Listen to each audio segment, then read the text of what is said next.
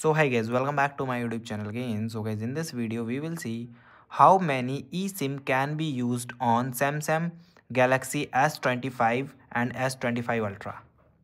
So guys the Samsung Galaxy S25 and S25 Ultra supported the eSIM technology with the number of the eSIM vary by the regions.